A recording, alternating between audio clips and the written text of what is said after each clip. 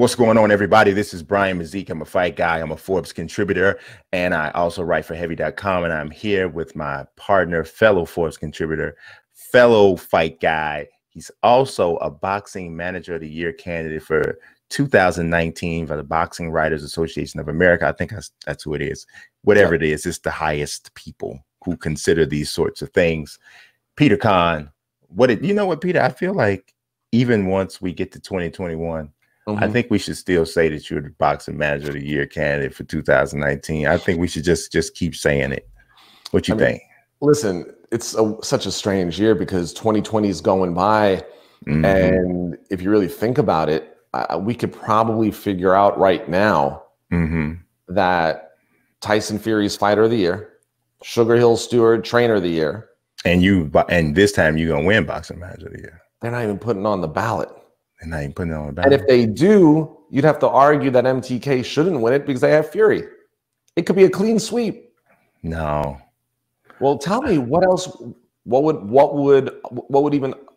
I'm gonna tell you like this. I'm gonna tell you like this. If George Kambosos mm-hmm.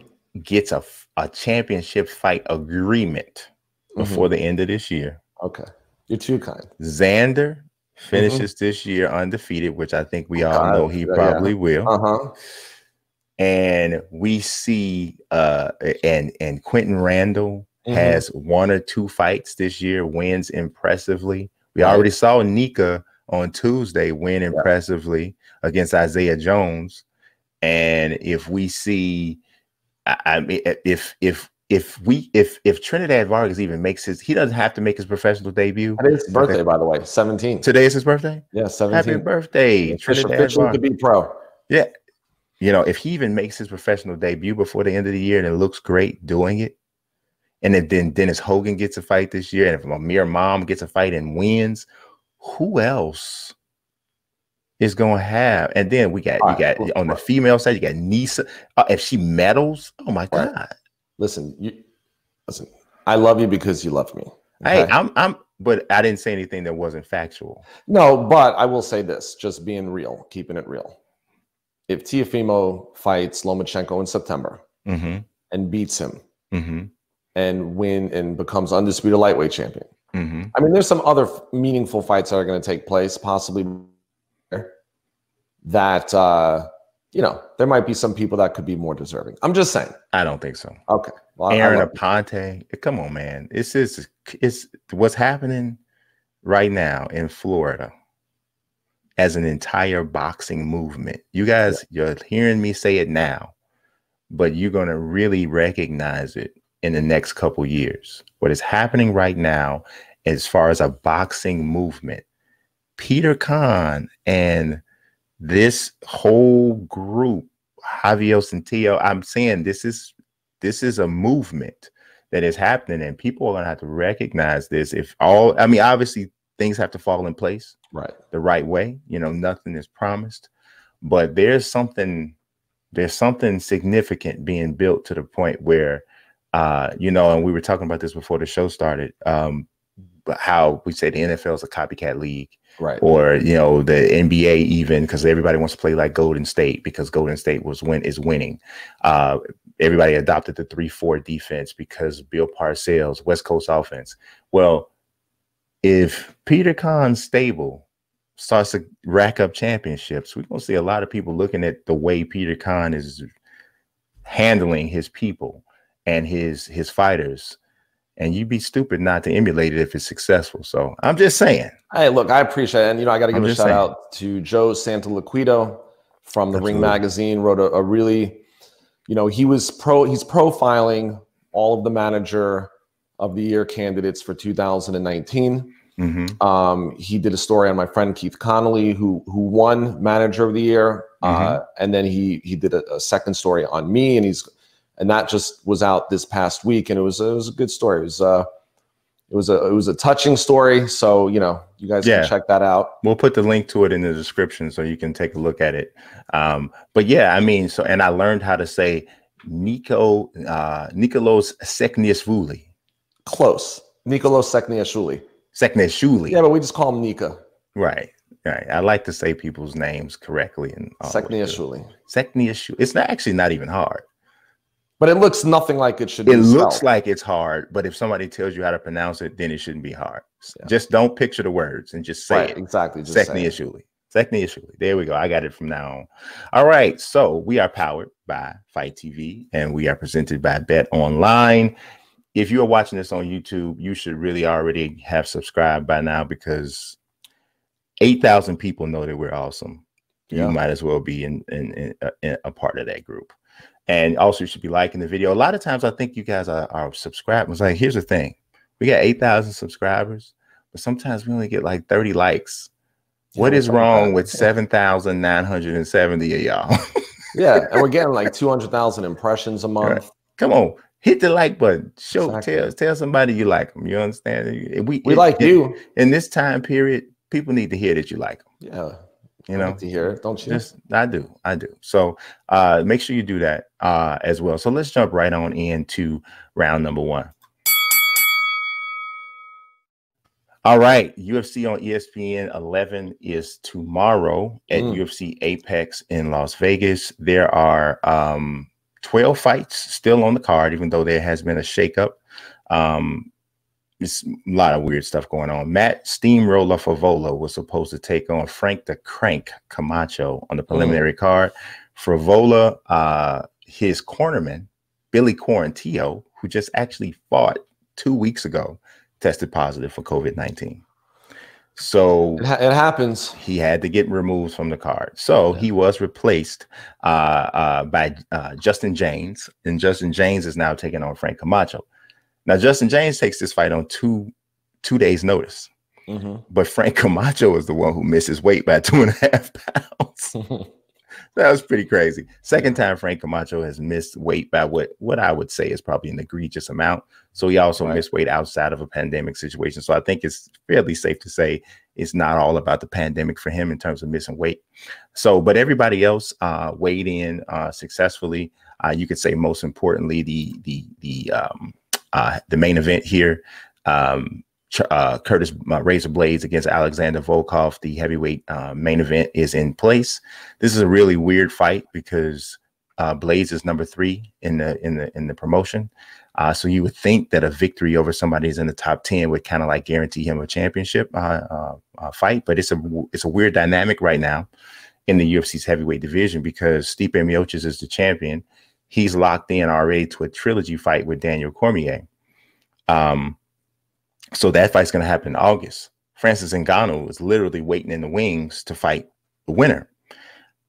Would be a rematch if you mm-hmm. if he faces Miocic, and it would be a very intriguing fight against Cormier. But here's the thing: there's a chance that after Miocic Cormier three, both of them would retire. Okay, there's a chance. That's a conversation, right? If that happens, then the heavyweight championship would then be vacated. So if that happens, then what do you have for the heavyweight? Who fights for the vacant championship? You would think that if Blaydes wins this fight, he's number three. Ngannou is number two already. So Ngannou and Blaydes would immediately be elevated to fight for a championship. Well, Brian, not, not that simple. Does doesn't the UFC just like make up like make its own decisions like who's going to do what? You know what? Not as bad as boxing. What? It, it, no, not as bad. This is just one organization. Yeah, maybe, and which is why there's less ridiculousness because you have less people getting their hands all involved, but not as much as boxing. Like, very. That's why when an egregious matchup does happen in yeah. UFC, people are like, "What? How in the world?" Like the one coming up next week. Right. Jose Aldo is fighting for the uh, vacant ban- vacant bantamweight title, coming off a loss stepping ahead of the, a guy who he actually lost to. And he's mm-hmm. simply getting this shot because he has a bigger name and many people believe he deserved to win the fight against the guy when he fought. So he fought Marlon Moraes. Moraes won the fight. A lot of people think that Aldo won the fight. So what, what, were you saying? So, so, so, I, cut, the, I cut you off. You right. so the, not the, so easy. It's not so easy because generally, if you would think if the top guy and the number one contender fade out of the picture, right, then the number two and the number three guy would then right. fight for the vacant title. That's not per- that simple. Perfect sense. Not that simple because Why? Curtis Blaydes has already fought Ngannou twice and got knocked out two times. Okay. So you could say and just move him back in the ratings. Why? But how can you move him back in the rating? Is he if he's number 3 mm-hmm. and he just fights Volkov tomorrow and wins? So there's no substantiating moving him back. So how why they put him so high in the first place? Well, because the only people he had, he's only he's 13 and 2. Mm-hmm. Both losses are to Ngannou. He has destroyed everybody else. So the only person you can justifiably put ahead of him is Ngannou. So now, if there's a vacant title fight, who the who who does Ngannou fight? Does he fight Blaydes again for a third time? You know what this reminds me of? What does this remind you of? You and I had a conversation earlier in the week when I was walking, like at midnight. Mm-hmm. And we were talking about Bernard Hopkins and Robert Allen.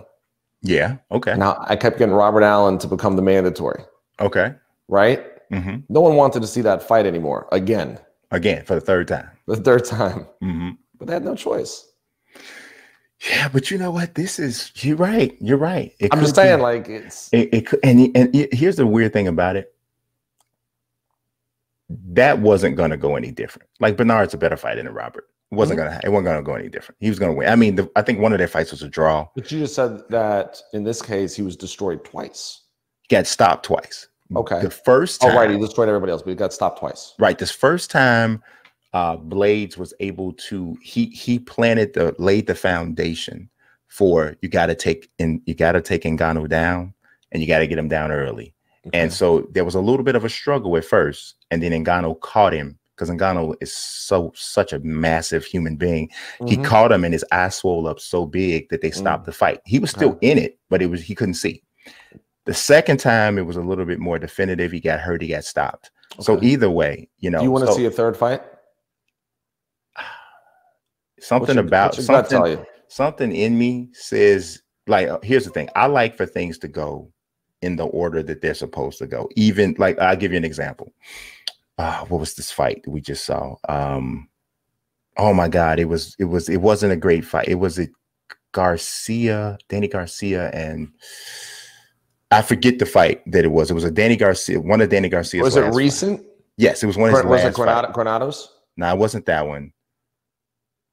I think it was it. It might have been Danny Keith Thurman. I can't remember which one it was. Okay, right. But it wasn't an extremely exciting fight, just conceptually. Right. But in my opinion, it was a fight that had to happen mm-hmm. because of where both guys were ranked. Right. And even just, though Thurman won, it was closer on the scorecards than it might have looked. Right. And it, it, so that it had to happen because that was the appropriate fight, even though it wasn't the most sexy fight.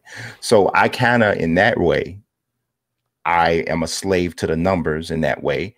If Ngannou's the next guy up, have him fight the next guy down for the championship, even though that might have already been a fight that we saw.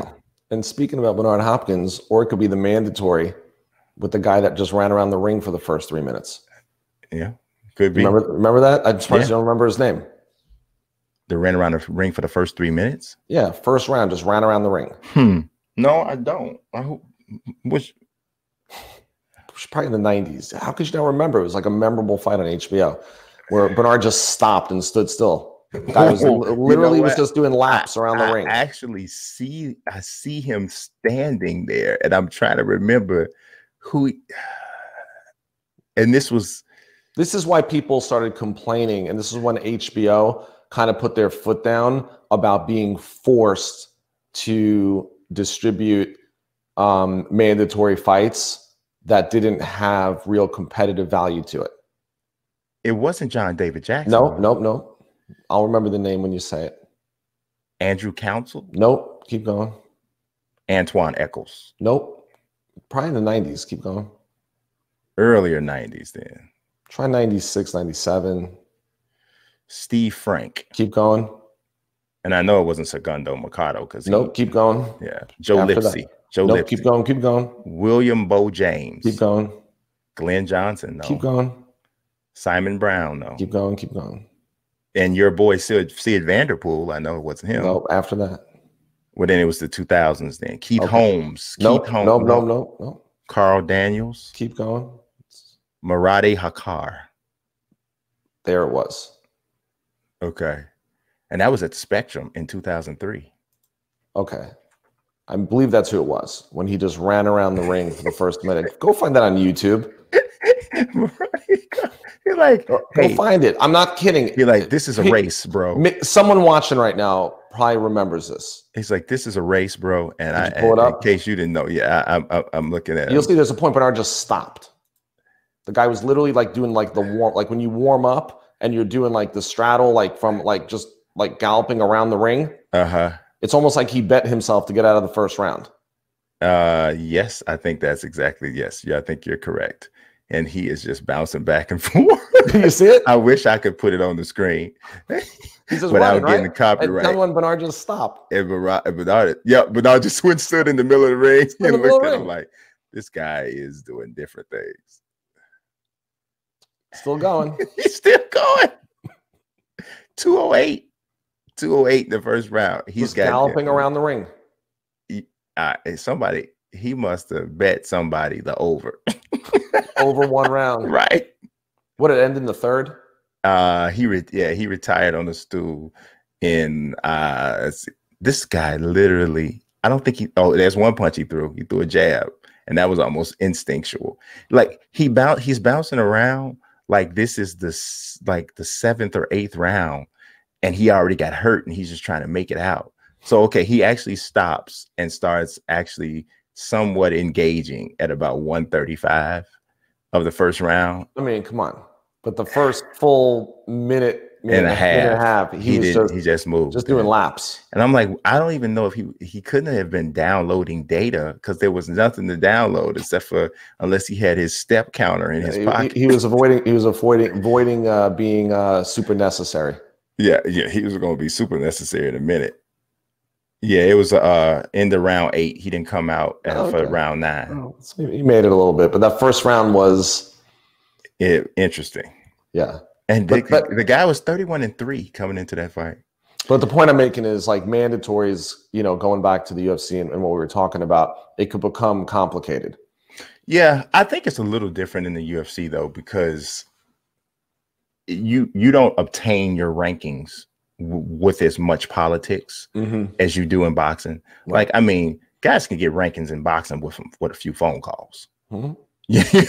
you know, it, it does it in in in the UFC. You Ali Abdelaziz is probably maybe the most influential manager in mixed martial arts right now. Right. He can't make a few phone calls and get his fighter ranked. Mm-hmm you know so i think it's a little different. So you're the the the the, the top contenders getting title shots is more validated because we've seen this person perform against this person that person. So you're like okay i see. Yeah it, it's never quite as be it's a smaller it's a smaller a couple people. Like dana white has 630 fighters on the roster. Mm-hmm. there's more than 630 welterweights you know, in six states probably in boxing. Yeah, there's just over 2,000 active welterweights.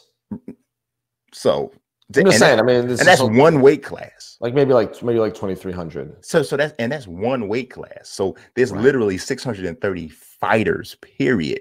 Right. On the UFC's roster of all weight classes. Well, how many do you think are on the top rank roster? If you had to take a guess,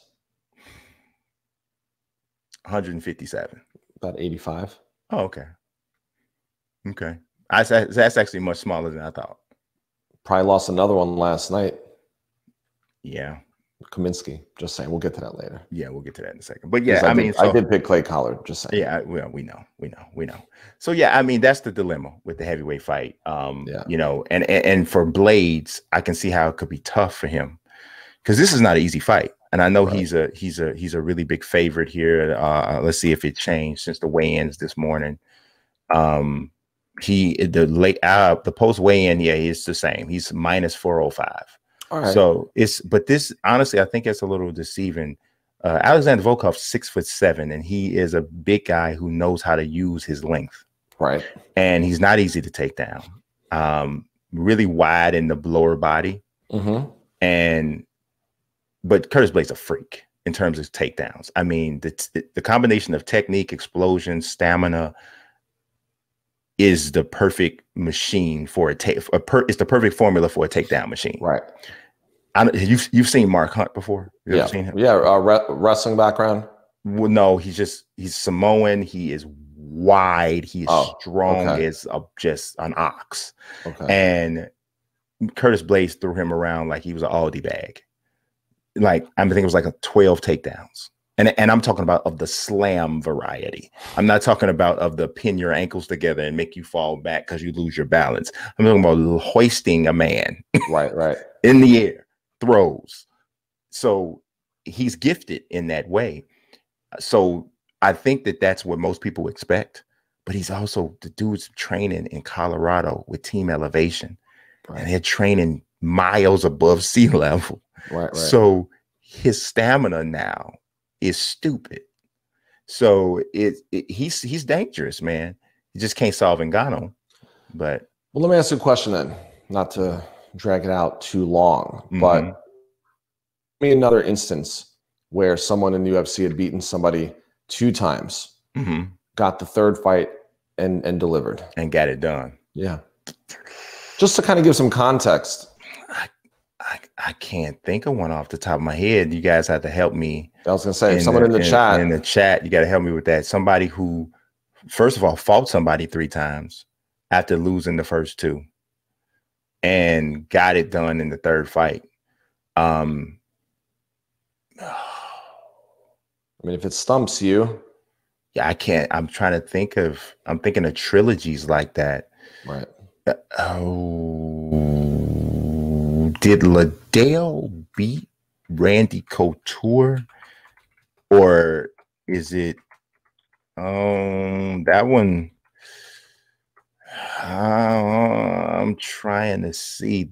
Uh, oh my God! Looking at Chuck Liddell's record right now is depressing he has lost he has lost uh six uh what is this six of his last seven fights which i think means stop no so okay so he lost the couture the first fight and then beat him twice all right so well, see, that's not the, inverse same. it's not, the, not same. the same not the same so i i don't know if that exists this I really do This could be the first time, possibly. It, it could be, and, could and, be. and he does have the he does have the the game to beat him because it's a wrestling heavy game. So he does have the game to beat him. But I just oh, oh, here's one. Rampage.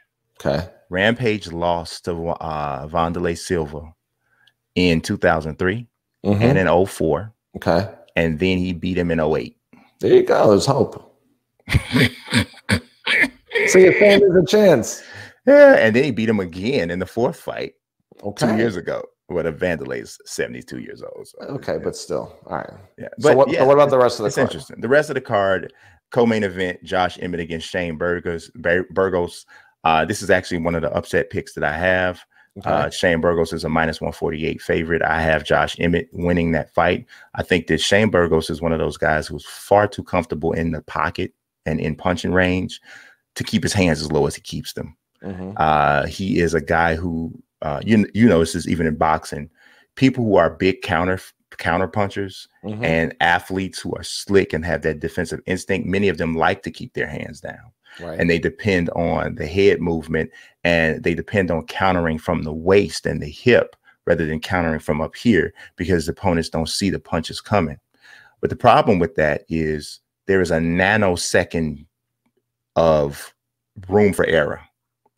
And Roy made a career out of fighting this way, which is technically incorrect. Right. But when he got a little older and the punches he would barely slip before and kept him in perfect counter position, a little older, I mean you get hit by that shot.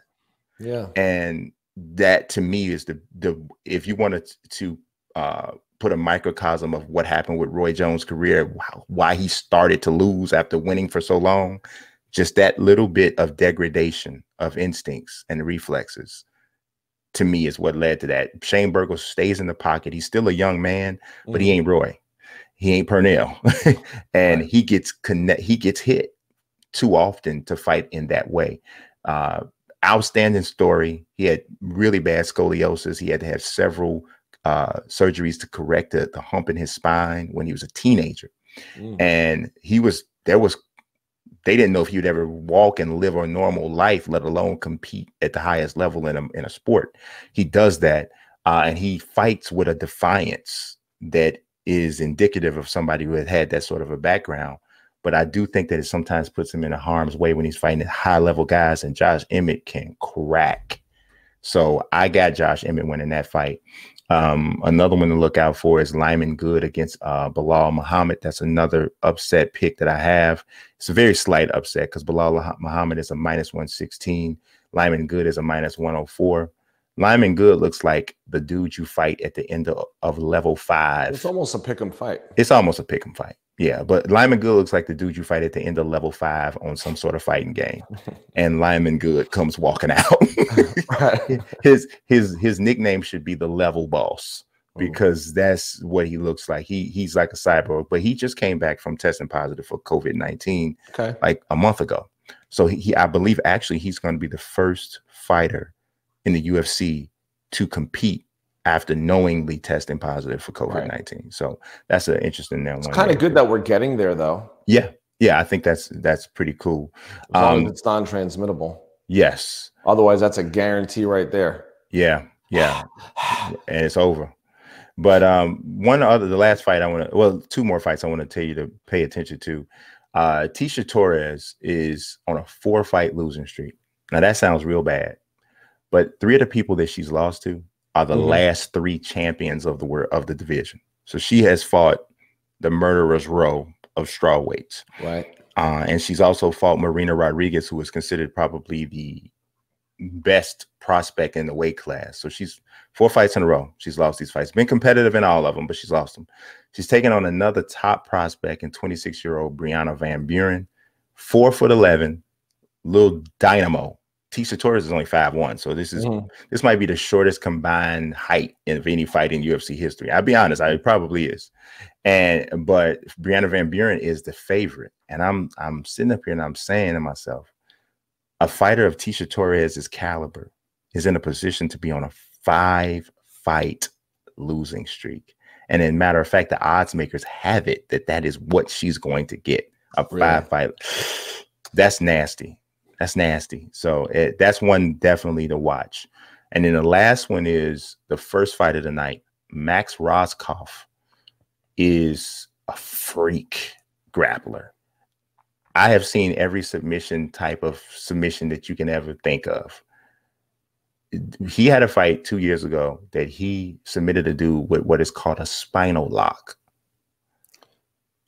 Okay. Just sounds painful. The dude is in, insane. So he's a six foot one, 155 pound fighter. Make sure you check out his fight against Austin Hubbard. I do have I have picked Rohskopf. The um, odds makers have Rohskopf. Uh, he was a late replacement as well as a minus 185 favorite to win that fight.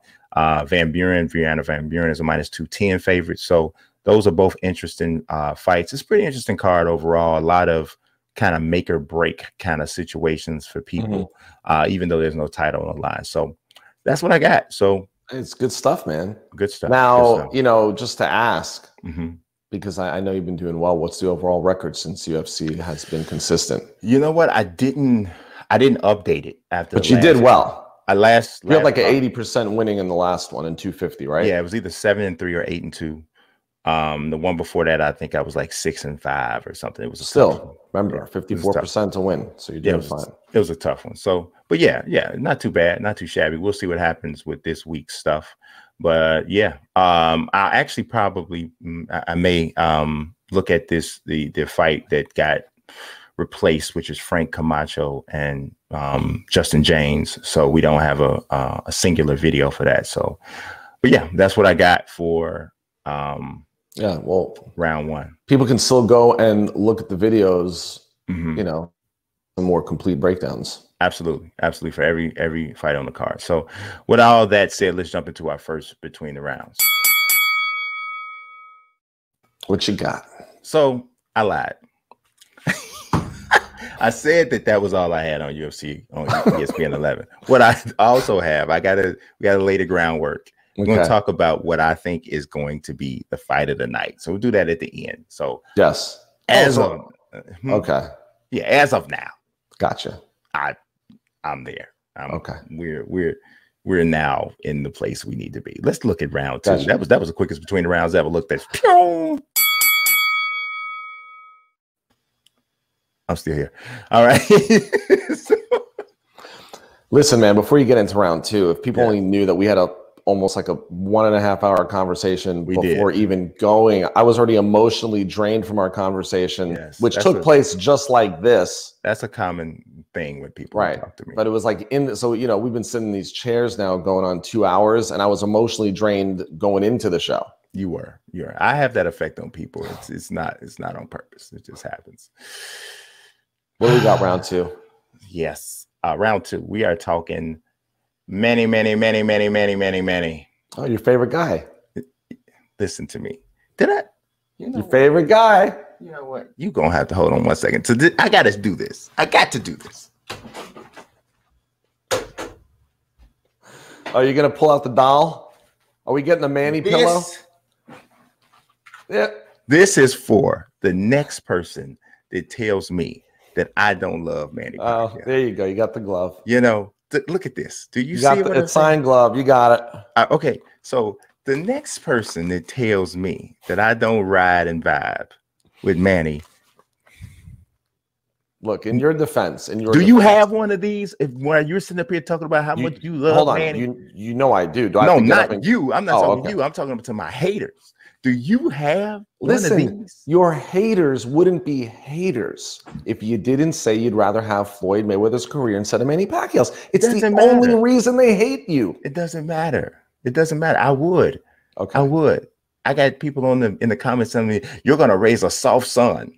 Listen, over a thousand comments. I know on, on that on that segment. That's crazy. That's crazy, man. Manny, Manny, man. You're messing with the country. I, I'm not. I'm you not. against the Philippines. I love the Philippines. I know you do. I would like to. And you love there. Manny. So let me set I that do. straight. Brian Mazique does love Manny Pacquiao. Yes. He just made a bad argument as to why he'd rather have a bad argument. A bad argument. I'm not saying that you couldn't. You, your argument is what got them going. Not the fact that you prefer to have Floyd Mayweather's career. That's perfectly acceptable. It was the reasons that they got all crazy. You talked about Manny getting knocked out. Well, they didn't like that. They, they did not like that. Oh, you know, when Manny gets knocked out, he gets knocked all the way out. I mean, they did not like that. Mocking the hero. I didn't mock him. You did. I you did. I lay down. Like, did I lay down? Oh my god. uh, you like I put a bed back here. Just said Manny did this. I didn't do that. No, but then you're like, it doesn't matter. I love you and I know you like Manny. It doesn't. So anyone that doesn't think Brian doesn't like him, y'all don't. You he know does what? like him. Manny is one of my absolute favorite athletes. Yeah. Period. Yeah. We we share the same faith. Yeah. Uh, he the way he carries himself is the way I would aspire to carry myself, like in public. Right. He's people say crazy stuff to him. He doesn't respond like angrily or anything. I want to act like that. Right. But that doesn't mean that I have to feel like I would rather have his career right. than a dude who I'm be honest with you. If you ask me who I'd rather have a conversation with, right, Floyd or Manny, I I would I might not even let my child talk to Floyd. but listen, it, it wasn't the what. It was, it was, the why. That was where people got kind of crazy with you. it was the why. You know what I'm saying? You know, it's I'm telling you, we live in this extreme world. Yes. And you have people to love to hate everything exactly how I would say it. If you don't say it that if way, not, you're, you're not my friend. Or no, you're an idiot. Right. Or that con guy. Or you got stunned by a bee. That con guy. anyway, let's talk about Manny. And so yes. we're gonna have to call that segment something uh you we had to call it why Brian Mazique loves Manny Pacquiao. right. but there's there's a lot of talk about Manny. Yes, uh, this fella here, Terence Crawford. There he is. There he is. Look at he, two. he wants Manny to be his next fight. Okay. That's what he said. Um, makes perfect sense. Um, there's so many storylines for this particular meeting that, that that this would be the easiest promotional job, top rank ever has. It would be the easiest promotion job uh, PBC has. Easiest one you could ever find. The man who used to be king at top rank against the man who currently is king at top rank in terms of the major draw mm-hmm. sort of thing. Same division. Terence Crawford wants to get out of Manny's shadow in the eyes of Bob Arum and everybody who makes the machine run at uh at for top rank. It's top rank versus PBC.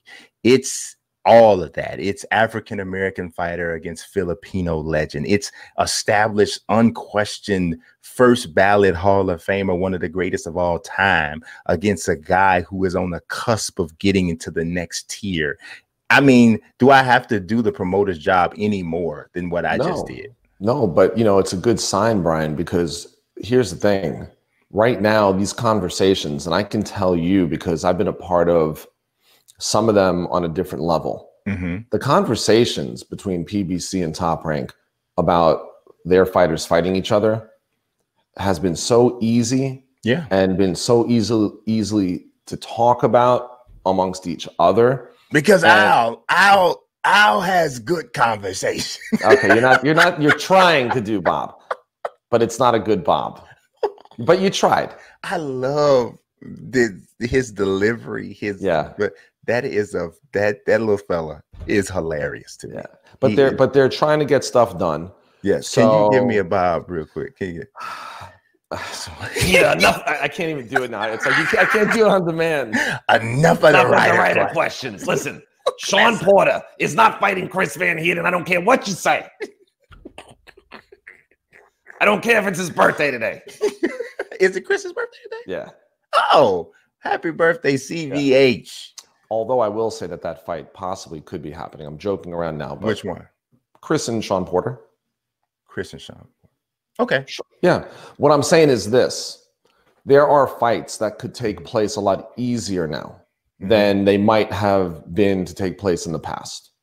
And I, so, I forgot to even mention Chris in my little opening monologue about Peter Peter Kahn and the fight game advisors. I mean, you throw that in there too. Van Heerden gets a shot at Shawn Porter in 2022? Mm-hmm. Or Keith Thurman. All I'm saying is that PBC is exhausted mm-hmm. the the uh, round robin of mm-hmm. fighting each other. Right.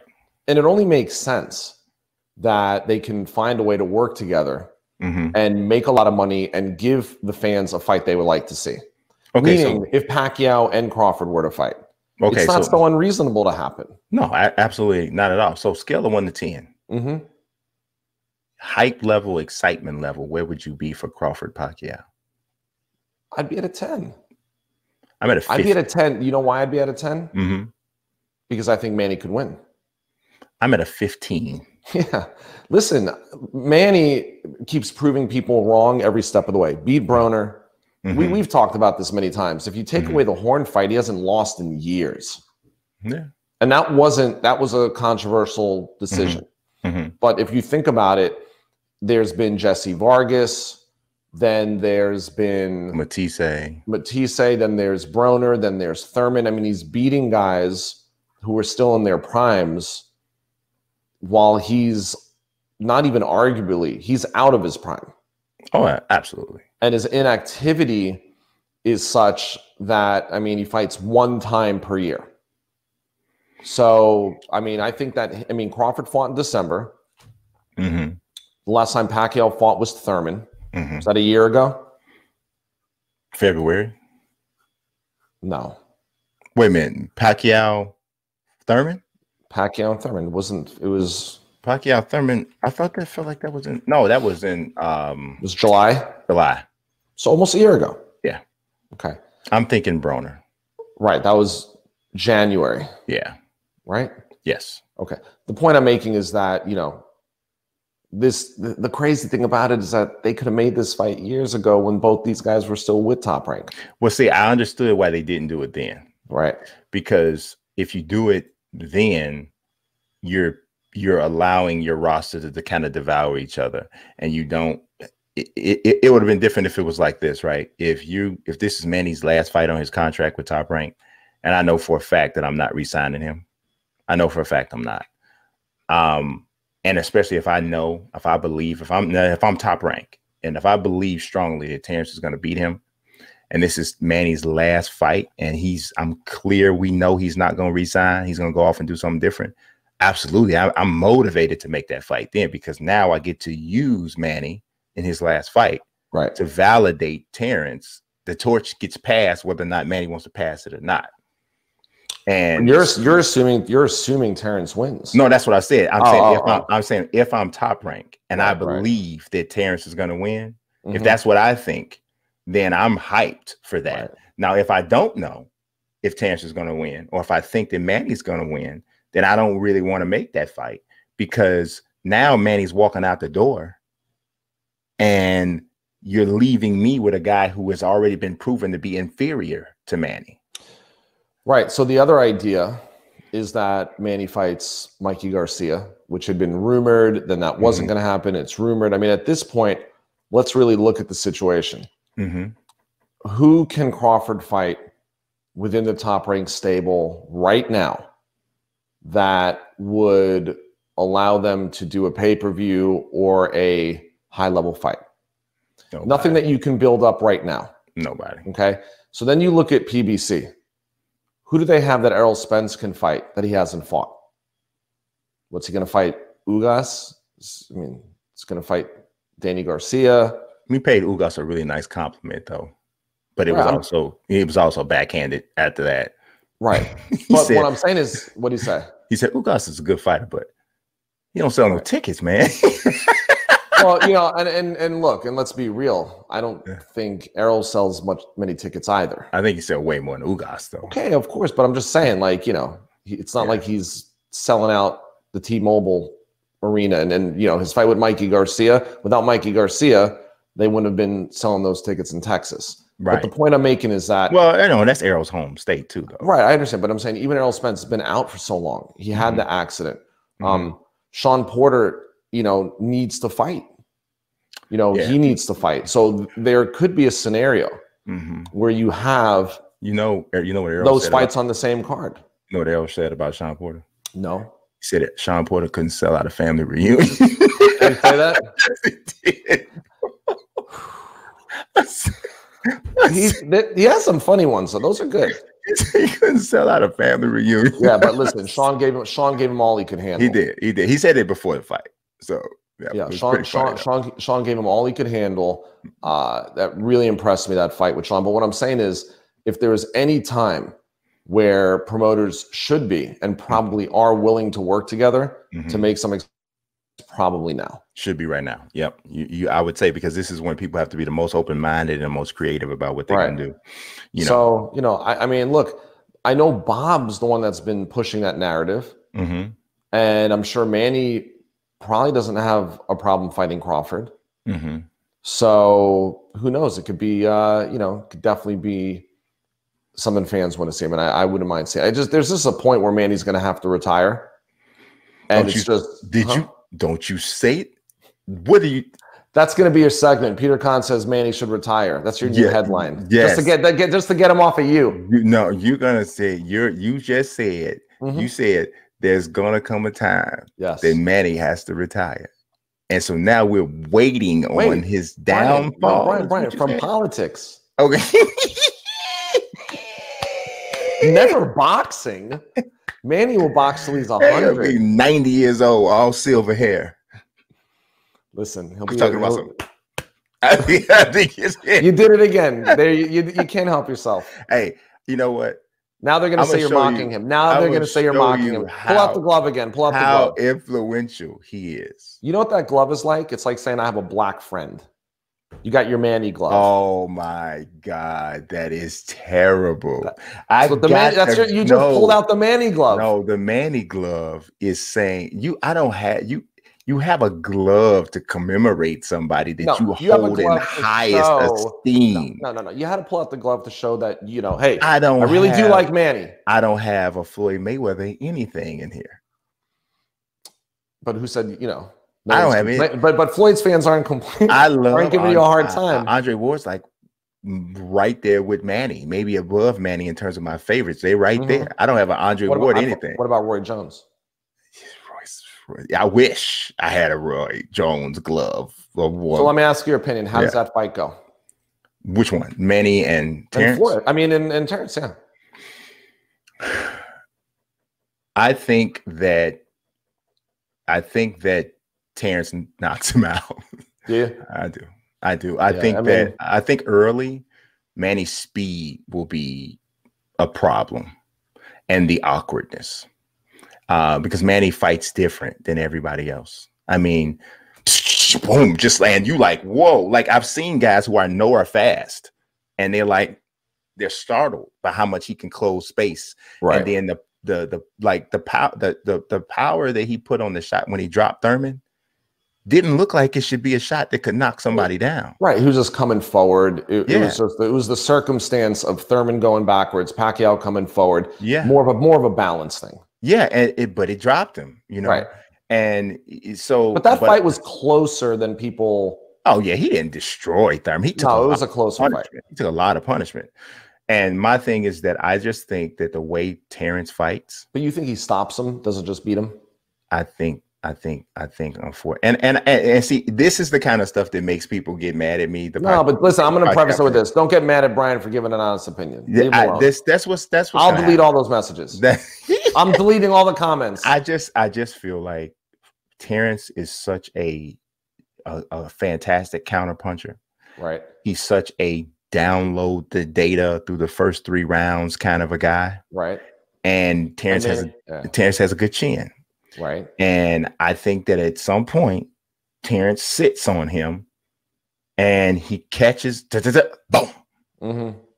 And Manny's gonna go down. That's just that's what I see. And and I, I yeah, I, you know. Listen, as think, much as I as much as I love Manny, I picked Thurman to beat him. Mm-hmm. And you know, the more time that goes on, it's just it's like you said, like we talked about with Roy Jones. Yeah.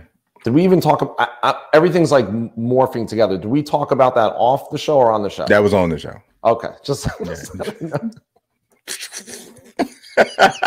it's going together, but yeah, but it's, I, but it's the same concept. I mean, at some is. point, it is. At some point, those reflexes for Manny are going to go. They are. At and some point, uh, just the the you know the inactivity and the yeah. ring rust will catch up with him. Yeah, because I, remember, Terence fought in December, and it wasn't a walk in the park. He had a good fight with Kavaliauskas. It was. It was. But I think stylistically,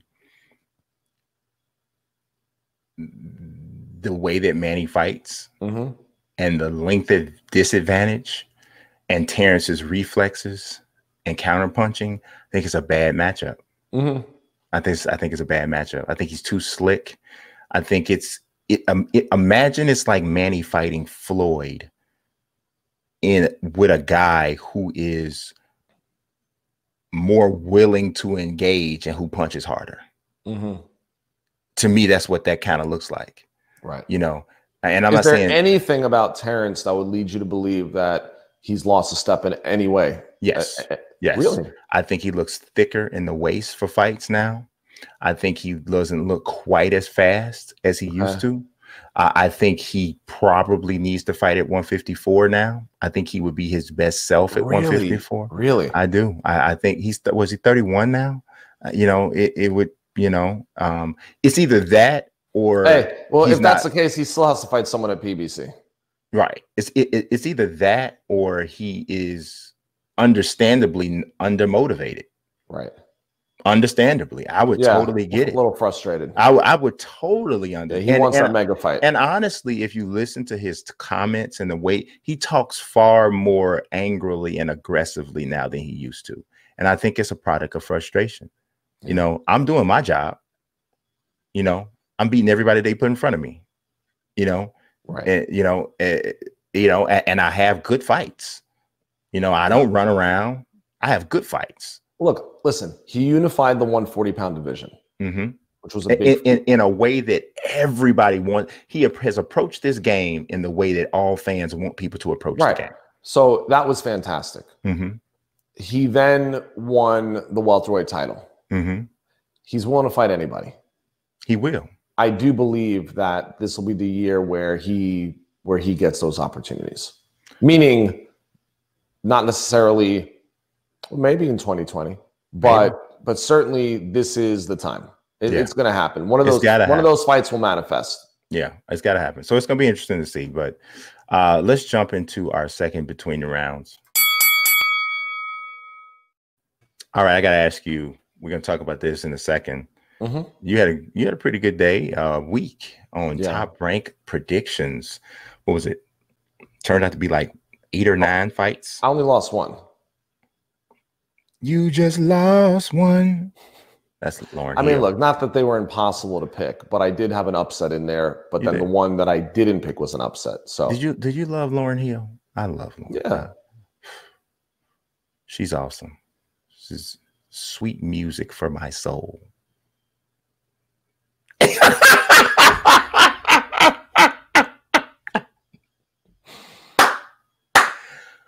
okay. Yeah, but you remember. Hey, listen, I think I waited like two and a half hours for her to get on stage once. I'm just saying. Yeah.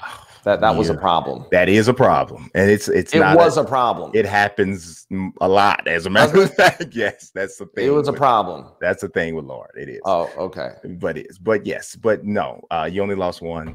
Clay, uh, you predicted Clay Collard beating David Kaminsky, yeah, we'll which was kind of crazy to people. So yeah, we'll talk right. about it in a second. So let's go into round three.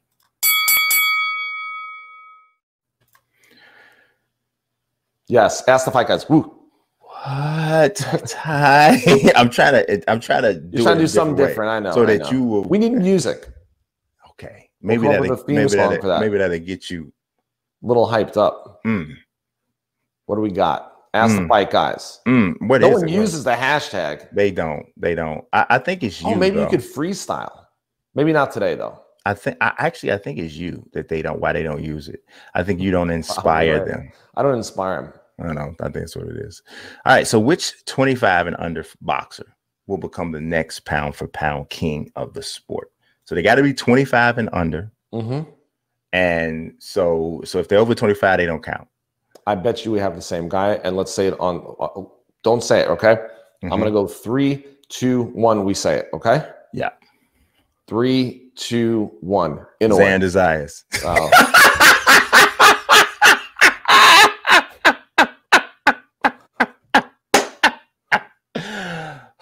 that actually was. I love you, man. That wasn't my real. I know answer. who was your who was real answer. Oh, that was pretty funny though. Actually, yes. I was gonna say, mm-hmm. but I, I don't disagree with you with anyway. I don't. You gonna say Devin Haney? No. Okay, I'm just just guessing say, now. I was gonna say Ryan Garcia. Nah, I love Ryan, but you're talking pound for pound king. Yeah, pound for pound king. I mean, you, this this kid's only 20, what, 21, 22? 21, I think. He's not he's not where he's gonna be. Mm-hmm. I don't know, man. And you know, I, look, you know, I'm a fan of Ryan Garcia. Okay, so you know here's my thing. You know that I, but I'm maybe I am confusing mm-hmm. pound for pound king with pay per view king. Okay, sure. So if I say pay per view king, I, I, can see Ryan being a hu- huge draw. Yes, huge yes. draw. Yes. You know, but when I say Inoue, it's only from the no, domination. It's, it's Inoue. It's Inoue. It is. It's him. You know what I'm saying? From that. No, it's him. I mean, he's he's he's he's on another planet. I mean, he he that that kid is just. I mean, I, if you were to say you're gonna go and try to, if you were playing a video game and you were creating a fighter, and you and you were giving him all these different attributes, what he can't be. He's 27, so he's out. Oh, all right. So he's out. Throw him he's away. Out. He's out. I was wondering about that too. I think maybe that's why I, I thought he was younger. Now his bro, his younger brother. Though, well, his brother doesn't count. He's not. Yeah, he's not him. It's not him. Yeah. So. so yeah, now Ryan's looking better. Right. No, but but here's the thing though. The reason I said Inoue is already dominating at the world championship oh, level. He, he's he's on. Ryan, Ryan has more time to grow. Yeah, he's on another. Devin Haney has more time to. I need to see something. I, I don't think Devin. Something. I don't think Devin okay. Haney is going to be. Let me ask you one. How old old's Teofimo? Yeah, it could be there. And I mean, uh, look, if he beats Lomachenko. Now, and Gervonta is 25. He won't be 26 till November. Um, female 21? Nah, he's older than that. It gotta be like 22. He's 22, and he'll be 23 next month. Okay, well, he he's a strong. He's a strong. Yeah, he's in there. He's right. Since we're talking under 25. Yes, he's he's right in there. He's he's definitely right in there. Well, I mean, why why would uh, Gervonta not be in there? I I don't know. I just feel. Oh wait, how old is he? Gervonta's 25. It's 25. Okay. Gervonta's 25. Now, now for what it's worth, you you you you take this with a grain of salt, right? If you look at uh BoxRec pound for pound rankings, and you look at the highest rated person who is 25 or under, it might shock you who is the highest rated person who is under 25 or 25 and under.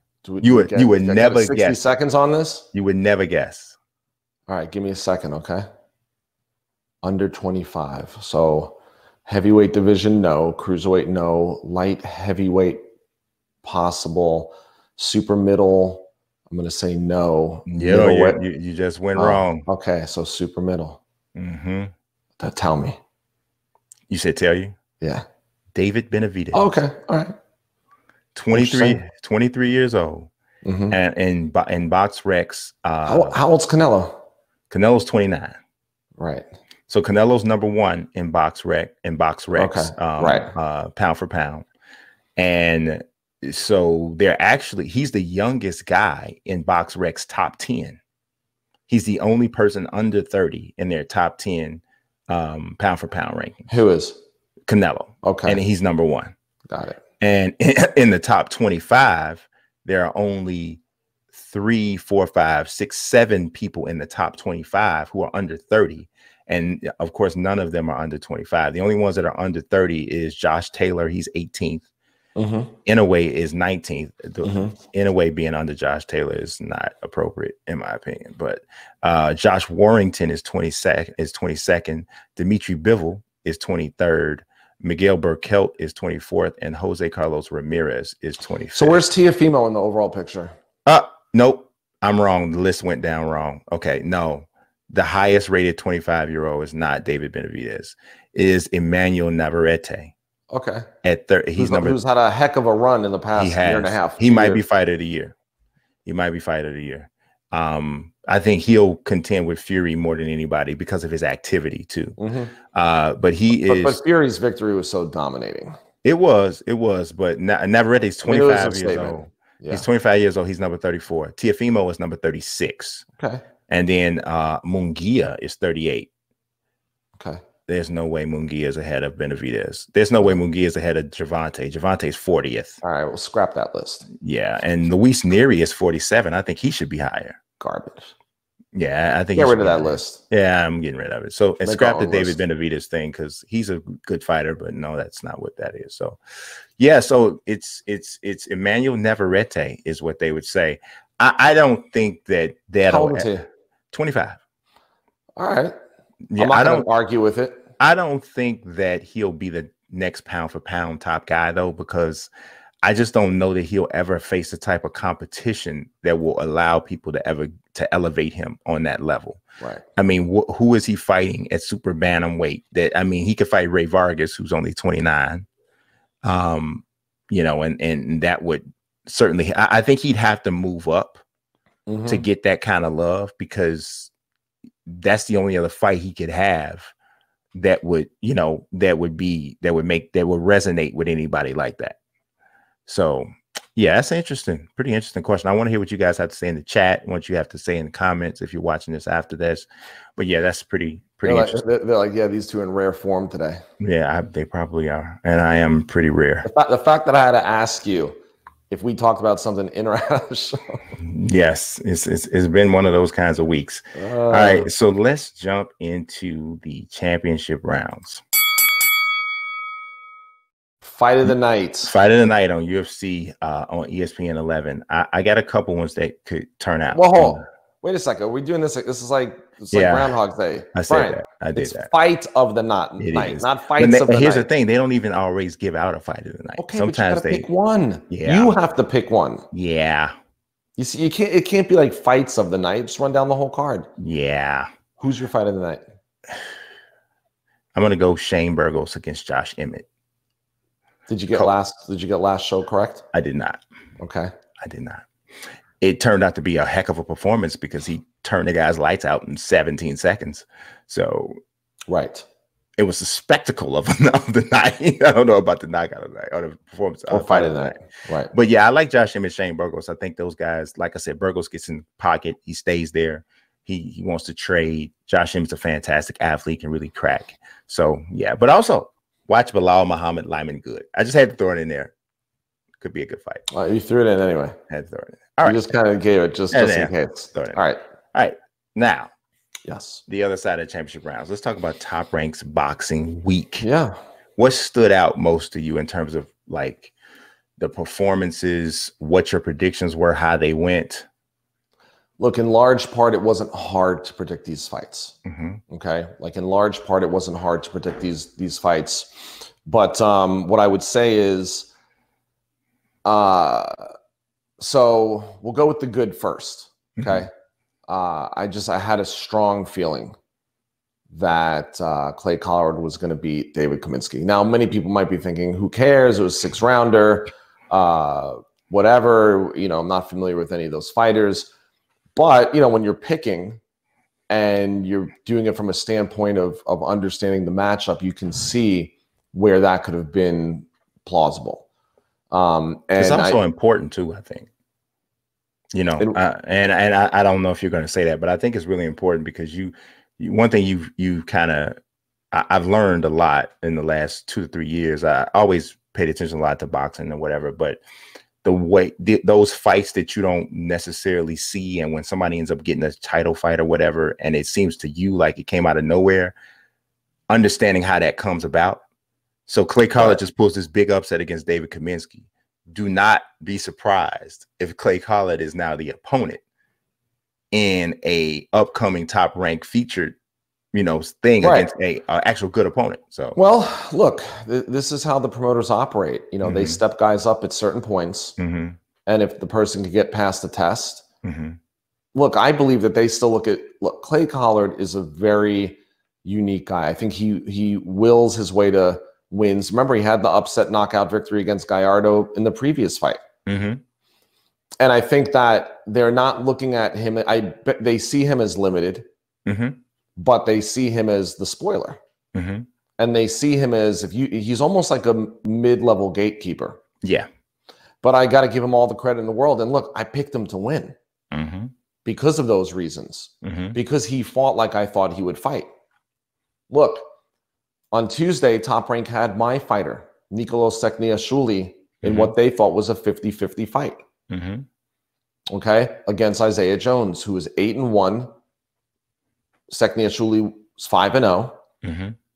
And the truth of the matter is, is they thought this was going to be a type of fight where Jones could have come in there, beaten him, they would have released Sekniashuli. Mm-hmm. But instead, Nika dominated. It was a one sided, lopsided fight, and, and, he shut him out. Mm-hmm. Look, you know, they we accepted Collard 1st mm-hmm. Okay. So we were supposed to, I told you that. Yeah, we were supposed to fight Kay, uh, uh, Clay Collard on Tuesday, mm-hmm. but then they shifted gears on us and they made Kaminsky because we wanted Kaminsky first. So don't even be surprised if you see Sekniashuli and Collard. Just you know what I'm saying is that they do this to test these fighters, mm-hmm.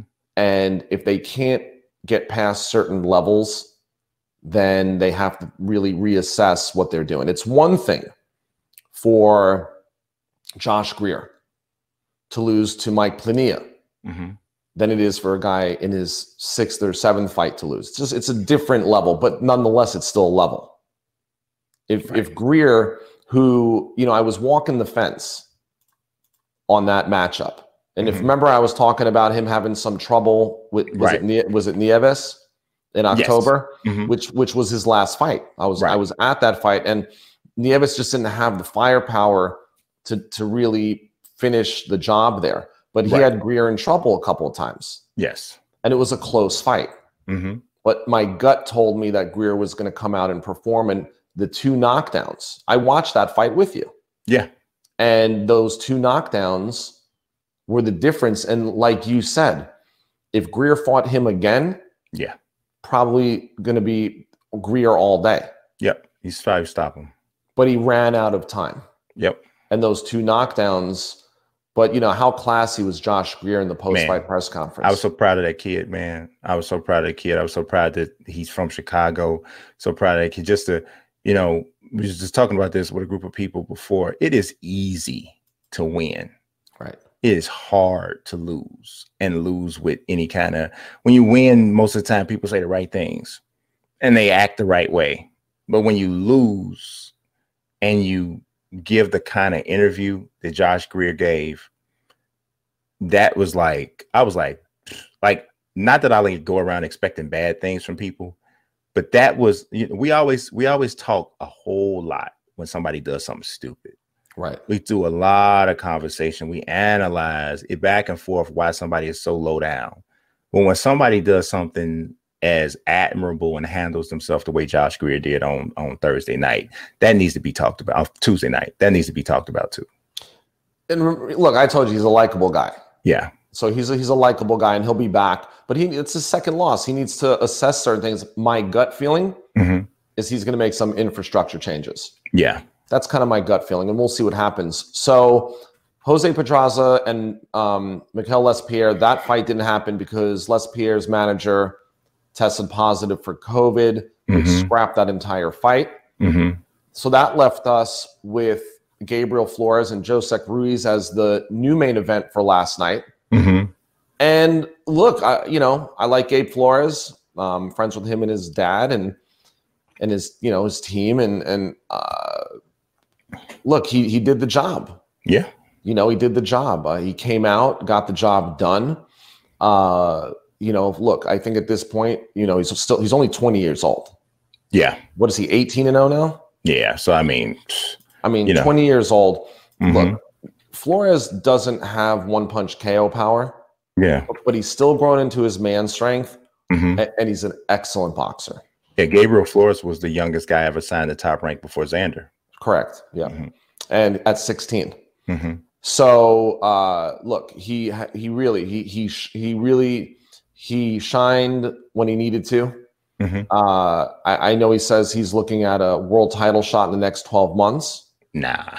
I don't I don't I think it's that's a little bit too aggressive for mm-hmm. 130. I think he's not ready for Jamel Herring or um or Berchelt or uh who am I missing? Um any of those guys. Right, I mean, right. I, I mean I think he would need a step up. I think he would need uh, an Andy Vences or an Albert Bell or uh, or an Oscar Valdez. I think he needs like a, one of those hurdles. And if you were able to get past one of those hurdles, then I think you could say, okay, he's earned his title shot. But he's going in the right direction. No, he's and, definitely and, going in the right direction. And, and they did it the right way. He has a strong fan base. He's got a great story. He's a good-looking kid. He can fight. Mm-hmm. Um, you don't always have to get the KO to to to be successful and be respected.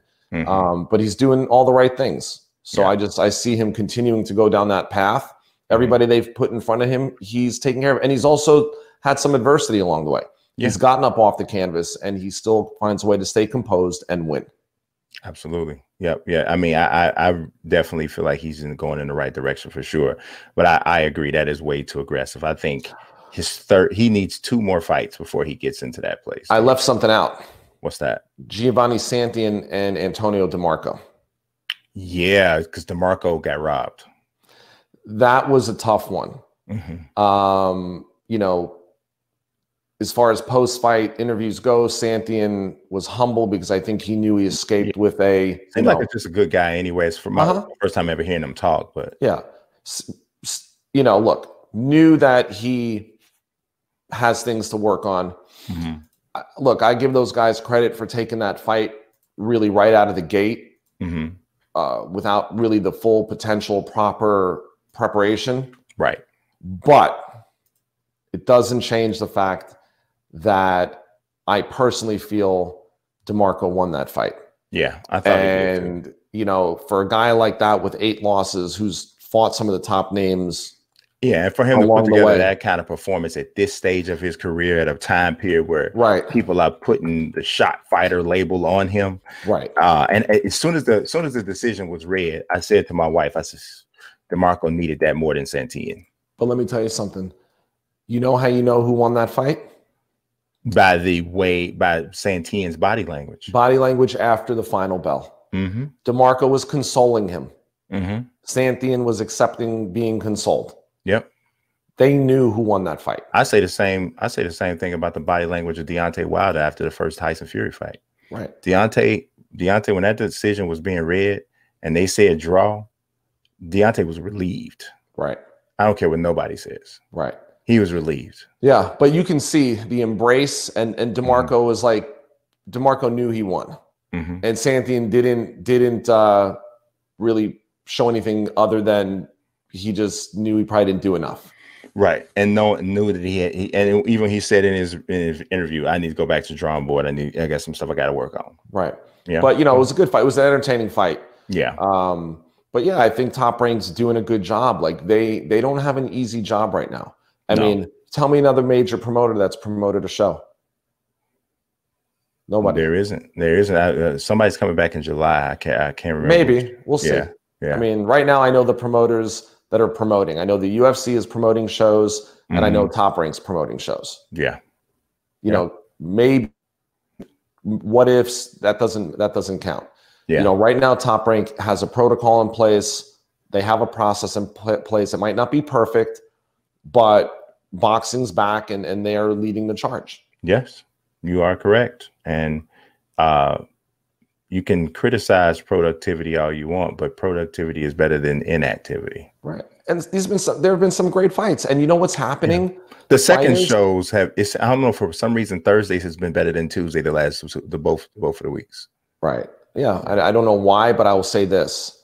Um, there are fighters that are getting exposure on television, mm-hmm. not ESPN Plus, on television that normally would never get an opportunity 100%. to be in this position. 100%. Even my even my own fighter, yeah, even Sekniashuli in a six rounder mm-hmm. would never have had the opportunity to yeah be be um you know to be shown like that and it's at value it's so much value it's so much value in mark kriegel telling that story about how you found him in greece okay. uh, it's so much it's so much uh, value in that it's so much value in having andre and Tim Bradley sit there commentating about this guy and and and making comments about do you hear the pop of these mitts?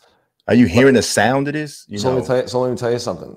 So on on Wednesday, mm-hmm. I was talking to Chris Algieri because he did the international broadcast. Okay. And I wanted his take. Mm-hmm. And then I um I reached out to Tim mm-hmm. because it's easy to take the praise from Kriegel and Andre, right? Mm-hmm. Mm-hmm. But Tim was critical. Mm-hmm. But I value the critical part. Right. Because that's where I wanted to really see, because I value what Tim says. Mm-hmm. And I wanted to see, so what, what did you see? What did you see could have helped him? Not that it wasn't an easy fight, but you know, there was a point where we all knew that Nico was going for the KO. Right.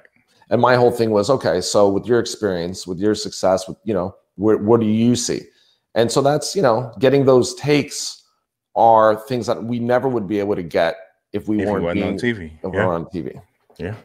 100% 100% so i like i said from the beginning i think this is a very valuable part of the of the experience for some boxers and it's going to be about who takes advantage of this platform that they wouldn't have had before right yep yep so yeah, that's all that we have for you today. Went a little bit longer, not as long as I thought we were going to go in round one. that's it. It is what it is, man. It's what it is. So uh, I, as always, I appreciate you guys watching. Make sure that you like the video and subscribe as well to the channel. Uh, it means a lot. It helps us uh, get seen by other um, uh, combat sports fans, the whole nine. So uh, be safe, uh, be wise, and we appreciate you watching. God bless.